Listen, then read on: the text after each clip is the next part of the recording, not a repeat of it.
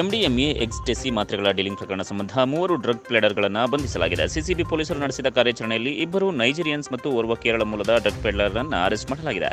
ಬೆಂಗಳೂರಿನ ಕೊಡಿಗೆಹಳ್ಳಿಯಲ್ಲಿ ಎಂಡಿಎಂಎ ಮಾತ್ರೆ ಮಾರಾಟಕ್ಕೆ ಆರೋಪಿಗಳು ಯತ್ನಿಸಿದ್ದಾರೆ. ಈ ಕುರಿತು ಖಚಿತ ಮಾಹಿತಿ ಮೇರೆಗೆ ಕಾರ್ಯಾಚರಣೆ ನಡೆಸಿದ ಸಿಸಿಬಿ ಅಧಿಕಾರಿಗಳು ಇಬ್ಬರು ನೈಜೀರಿಯನ್ಸ್ ಸೇರಿ ಮೂವರನ್ನು ಬಂಧಿಸಿದ್ದಾರೆ. ಇನ್ನು ಬಂಧಿತರಿಂದ ಮೂವತ್ತು ಲಕ್ಷ ಮೌಲ್ಯದ ಐನೂರು ಎಂಡಿಎಂಎ ಎಕ್ಸ್ಟಿಸಿ ಮಾತ್ರೆ ಜಪ್ತಿ ಮಾಡಲಾಗಿದೆ. ಐಟಿ ಉದ್ಯೋಗಿಗಳು ಮತ್ತು ಪ್ರತಿಷ್ಠಿತ ಕಾಲೇಜು ವಿದ್ಯಾರ್ಥಿಗಳಿಗೆ ಡ್ರಗ್ ಮಾರಾಟ ಮಾಡುತ್ತಿದ್ದರು ಎಂಬ ಮಾಹಿತಿ ಇದೆ. ಈ ಬಗ್ಗೆ ಕೊಡಿಗೆಹಳ್ಳಿ ಠಾಣೆಯಲ್ಲಿ ಪ್ರಕರಣ ದಾಖಲಾಗಿದೆ. ನಾರದಗಡ್ಡೆ ದೇಗುಲಕ್ಕೆ ತೆರಳಿದ್ದವರಿಗೆ ಮೊಸಳೆ ದರ್ಶನವಾಗಿರುವ ಘಟನೆ ರಾಯಚೂರಿನ ಕೃಷ್ಣಾ ನದಿಯಲ್ಲಿ ಸಂಭವಿಸಿದೆ. ಕೃಷ್ಣಾ ನದಿಯಲ್ಲಿ ಸ್ಟೀಮರ್ ತೆಪ್ಪಗಳ ಮುಖಾಂತರ ದತ್ತಾತ್ರೇಯ ದೇವಸ್ಥಾನಕ್ಕೆ ತೆರಳುವ ವೇಳೆ ಮೊಸಳೆ ಪ್ರತ್ಯಕ್ಷವಾಗಿದ್ದು ಭಕ್ತರು ಭಯಭೀತಗೊಂಡಿದ್ದಾರೆ. ಬಂಡೆ ಮೇಲೆ ಮಲಗಿ ಗಾಢನಿದ್ರೆಯಲ್ಲಿ ಆ, ಇರುವಂತಹ ಮೊಸಳೆಯ ಬೃಹತ್ ಗಾತ್ರಕ್ಕೆ ಭಕ್ತರು ಕಂಗಾಲಾಗಿದ್ದರು. ಇನ್ನು ನೂರಾರು ಮೊಸಳೆಗಳು ಕೃಷ್ಣಾ ನದಿ, ಜುರಾಲಾ ಪ್ರಾಜೆಕ್ಟ್ ಹಿನ್ನೀರಿನಲ್ಲಿವೆ ಎನ್ನಲಾಗಿದೆ. ಈ ತರಹ ಅಪಾಯದ ನಡುವೆ ದೇಗುಲಕ್ಕೆ ನದಿಯಲ್ಲಿ ಬೋಟ್ ತೆಪ್ಪ ಸ್ಟೀಮರ್ ಮುಖಾಂತರ ಭಕ್ತರ ಸಂಚಾರಕ್ಕೆ ಜಿಲ್ಲಾಡಳಿತ ಯಾವುದಾದರೂ ಪರ್ಯಾಯ ವ್ಯವಸ್ಥೆ ಕಲ್ಪಿಸಿ ಮುಂದೆ ಆಗುವ ಅನಾಹುತವನ್ನು ತಡೆಯಬೇಕಿದೆ. ಮೂರನೇ ಅಲೆ ಶುರುವಾದರೆ ಮಕ್ಕಳಿಗೆ ಹೆಚ್ಚು ಸೋಂಕು ಎಂದು ಐಐಎಸ್ಸಿ ತಜ್ಞರ ಅಧ್ಯಯನ ವರದಿಯಲ್ಲಿ ಶಾಕಿಂಗ್ ಅಂಶ ಬಯಲಾಗಿರುವುದು ಇದೀಗ ಆತಂಕಕ್ಕೆ ಈಡು ಮಾಡಿದೆ ಮೊದಲ ಅಲೆಗಿಂತ ಎರಡನೇ ಅಲೆಯಲ್ಲಿ ಮಕ್ಕಳಲ್ಲಿ ಹೆಚ್ಚು ಸೋಂಕು ಆಗಿರುವುದು ಈಗಾಗಲೇ ಗೊತ್ತಿದೆ. ಮೊದಲ ಅಲೆಗಿಂತ ಎರಡನೇ ಅಲೆ ವೇಳೆ ಎರಡೂವರೆ ಪಟ್ಟು ಸೋಂಕು ಹೆಚ್ಚಳವಾಗಿದೆ. ಮಕ್ಕಳಲ್ಲಿ ಕೊರೋನಾ ಹೆಚ್ಚಾಗಿರುವ ಕುರಿತು ಅಂಕಿಅಂಶಗಳೇ ಹೇಳಿದೆ. ಹತ್ತೊಂಬತ್ತು ವರ್ಷದ ಒಳಗಿನ ಮಕ್ಕಳಲ್ಲಿ ಎರಡು ಪಾಯಿಂಟ್ ಐದು ಪಟ್ಟು ಸೋಂಕು ಹೆಚ್ಚಳವಾಗಿದ್ದರೆ ಮೂರನೇ ಅಲೆ ಬಂದರೆ ಮಕ್ಕಳಲ್ಲಿ ಏಳು ಪಟ್ಟು ಸೋಂಕು ಹೆಚ್ಚಳವಾಗಲಿದೆ ಎನ್ನಲಾಗಿದೆ. ವ್ಯಾಕ್ಸಿನ್ ಇಲ್ಲದೆ ಇರೋದರಿಂದ ಮಕ್ಕಳು ಟಾರ್ಗೆಟ್ ಗ್ರೂಪ್ ಆಗಿರ್ತಾರೆ. ಹೀಗಾಗಿ ಮೂರನೇ ಅಲೆ ಬಂದರೆ ಹೆಚ್ಚು ಸೋಂಕಿಗೆ ಒಳಗಾಗ್ತಾರೆ ಎಂದು ಐಐಎಸ್ಸಿ ತಜ್ಞರ ಅಧ್ಯಯನ ವರದಿ ತಿಳಿಸಿದೆ. ಸಂಸದ ಪ್ರತಾಪ್ ಸಿಂಹ ವಿರುದ್ಧ ಮೈಸೂರು ಜಿಲ್ಲಾ ಹಾಗೂ ನಗರ ಕಾಂಗ್ರೆಸ್ ಸಮಿತಿಯಿಂದ ಜಿಲ್ಲಾಧಿಕಾರಿಗಳಿಗೆ ದೂರು ನೀಡಲಾಗಿದೆ. ಮುಸ್ಲಿಂರ ದರ್ಗಾ ಹೊಡೆಯಲು ನಿಮಗೆ ತೊಳೆ ನಡಗುತ್ತಾ ಎಂಬ ಸಂಸದ ಪ್ರತಾಪ್ ಸಿಂಹ ಹೇಳಿಕೆ ಹಿನ್ನೆಲೆಯಲ್ಲಿ ದೂರು ಸಲ್ಲಿಸಿದ್ದು, ಪ್ರತಾಪ್ ಸಿಂಹ ವಿರುದ್ಧ ಕಾನೂನು ಕ್ರಮಕ್ಕೆ ಆಗ್ರಹಿಸಿದ್ದಾರೆ. ಕಾಂಗ್ರೆಸ್ ನಿಯೋಗದ ವತಿಯಿಂದ ಜಿಲ್ಲಾಧಿಕಾರಿಗಳನ್ನು ಭೇಟಿ ಮಾಡಿ ದೂರು ಸಲ್ಲಿಸಿದ್ದಾರೆ.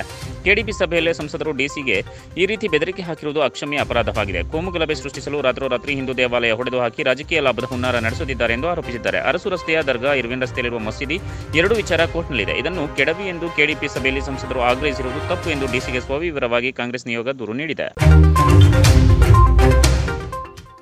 ಕಾರಿನಲ್ಲಿ ಗಾಂಜಾ ಇಟ್ಟುಕೊಂಡು ತಮಗೆ ಬೇಕಾದ ಜನರಿಗೆ ಗಾಂಜಾ ಮಾರುತ್ತಿದ್ದ ಮೂವರು ಆರೋಪಿಗಳನ್ನು ಬೆಂಗಳೂರಿನ ಜ್ಞಾನಭಾರತಿ ಪೊಲೀಸರು ಬಂಧಿಸಿದ್ದಾರೆ. ರಾಜಾಬಾಬು ಮಾರಪ್ಪ, ಮುಸ್ತಾಫಾ ಬಂಧಿತ ಆರೋಪಿಗಳು ಪೊಲೀಸರು ಲಕ್ಷಾಂತರ ಮೌಲ್ಯದ ಗಾಂಜಾ ವಶಕ್ಕೆ ಪಡೆದಿದ್ದಾರೆ. ಇನ್ನು ಈ ಹಿಂದೆ ಗಾಂಜಾ ಮಾರುತ್ತಿದ್ದ ಇಬ್ಬರನ್ನ ಬಂಧಿಸಿ ವಶಕ್ಕೆ ಪಡೆದಿದ್ದ ಪೊಲೀಸರು ಬಂಧಿತ ಆರೋಪಿಗಳ ಮಾಹಿತಿ ಮೇರೆಗೆ ಮತ್ತೆ ಮೂವರನ್ನು ಬಂಧಿಸಿದ್ದಾರೆ. ಜ್ಞಾನಭಾರತಿ ಪೊಲೀಸ್ ಠಾಣೆಯಲ್ಲಿ ಪ್ರಕರಣ ದಾಖಲಾಗಿದೆ. ಬಸ್ನಲ್ಲಿ ವಿದ್ಯಾರ್ಥಿನಿಯರ ಮೇಲೆ ಹಲ್ಲೆ ಪ್ರಕರಣಕ್ಕೆ ಸಂಬಂಧಿಸಿದಂತೆ ಆರೋಪಿಗಳನ್ನು ಬಂಧಿಸಲು ಕಾಲೇಜು ವಿದ್ಯಾರ್ಥಿಗಳಿಂದ ಪ್ರತಿಭಟನೆ ನಡೆಸಿರುವ ಘಟನೆ ಕೋಲಾರದಲ್ಲಿ ನಡೆದಿದೆ. ಶ್ರೀನಿವಾಸಪುರ ಪಟ್ಟಣದಲ್ಲಿ ಮಾನವ ಸರಪಳಿ ನಿರ್ಮಿಸಿ ಪ್ರತಿಭಟನೆ ಮಾಡಿದ ವಿದ್ಯಾರ್ಥಿಗಳಿಗೆ ಎಸ್ಎಫ್ಐ ಮತ್ತು ಸಿಐಟಿಯು ಸಂಘಟನೆ ಬೆಂಬಲ ಸೂಚಿಸಿದೆ. ಸೆಪ್ಟೆಂಬರ್ ನಾಲ್ಕರಂದು ಶ್ರೀನಿವಾಸಪುರದ ತಾಡಿಗೋಲ್ ಕ್ರಾಸ್ ಬಳಿ ಬಸ್ನಲ್ಲಿ ಹುಡುಗಿಯರನ್ನ ಚುಡಾಯಿಸಿದ್ದಕ್ಕೆ ನಡೆದಿದ್ದ ಜಗಳದ ವಿಚಾರವಾಗಿ ಪ್ರತಿಭಟನೆ ಹಮ್ಮಿಕೊಂಡಿದ್ದರು ಘಟನೆ ಸಂಬಂಧ ನಾಲ್ಕು ಆರೋಪಿಗಳನ್ನು ಸಹ ಪೊಲೀಸರು ಬಂಧಿಸಿದ್ದಾರೆ. ಆದರೆ ಉಳಿದ ಆರೋಪಿಗಳನ್ನು ಕೂಡಲೇ ಬಂಧನಕ್ಕೆ ಆಗ್ರಹಿಸಿ ಪ್ರತಿಭಟನೆಯನ್ನು ಹಮ್ಮಿಕೊಂಡಿದ್ದರು. ಹೊಸ ರಾಷ್ಟ್ರೀಯ ಶಿಕ್ಷಣ ನೀತಿ ವಿರೋಧಿಸಿ ಪ್ರತಿಭಟನೆ ನಡೆಸುತ್ತಿದ್ದ ವಿದ್ಯಾರ್ಥಿಗಳ ಮೇಲೆ ಪೊಲೀಸರು ಲಾಠಿ ಚಾರ್ಜ್ ಮಾಡಿರುವ ಘಟನೆ ಬೆಂಗಳೂರಿನ ಮೈಸೂರು ಬ್ಯಾಂಕ್ ಸರ್ಕಲ್ನಲ್ಲಿ ನಡೆದಿದೆ. ಹೊಸ ರಾಷ್ಟ್ರೀಯ ಶಿಕ್ಷಣ ನೀತಿ ಖಂಡಿಸಿ ಕ್ಯಾಂಪಸ್ ಫ್ರಂಟ್ ಆಫ್ ಇಂಡಿಯಾ ನೇತೃತ್ವದಲ್ಲಿ ವಿದ್ಯಾರ್ಥಿಗಳು ಮೈಸೂರು ಬ್ಯಾಂಕ್ ವೃತ್ತದಲ್ಲಿ ಪ್ರತಿಭಟನೆ ನಡೆಸಿ ಕೇಂದ್ರ ಸರ್ಕಾರದ ವಿರುದ್ಧ ಘೋಷಣೆ ಕೂಗಿ ಆಕ್ರೋಶ ವ್ಯಕ್ತಪಡಿಸಿದ್ದಾರೆ.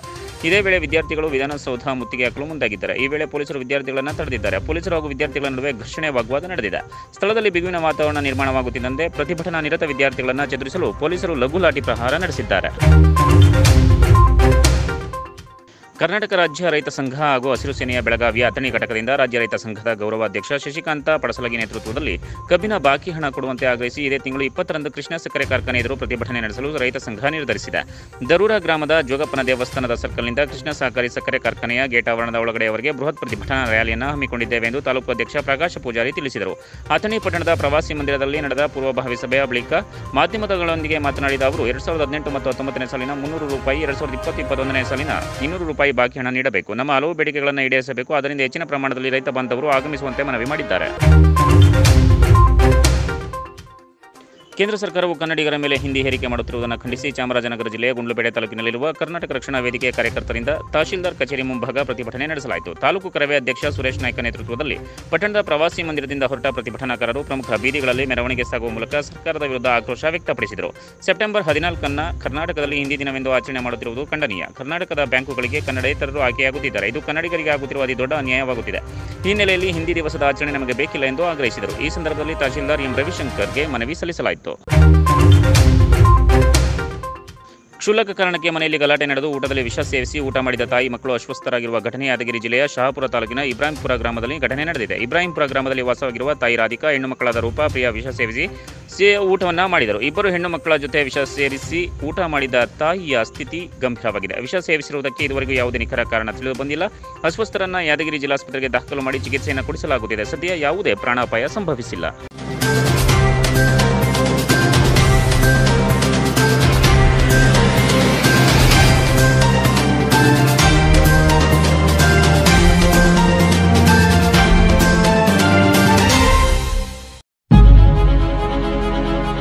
ನೈಜ ನಿಖರ ಸುದ್ದಿಗಾಗಿ ಜನಶಕ್ತಿ ನ್ಯೂಸ್ ಚಾನೆಲ್ಗೆ ಸಬ್ಸ್ಕ್ರೈಬ್ ಆಗಿ.